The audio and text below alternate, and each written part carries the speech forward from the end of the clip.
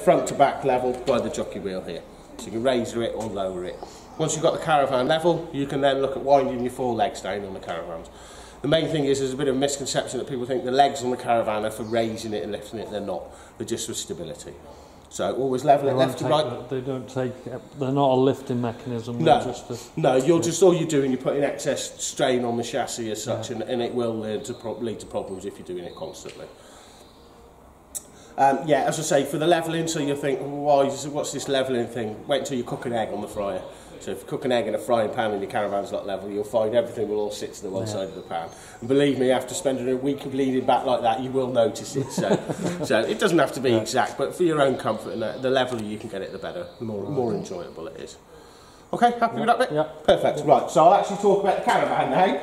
So, we'll start at the front. So, the first one, we've got your stabiliser hitch on the front. So, how this works, when that closes down, it's got two pads in there which grip onto your tow ball.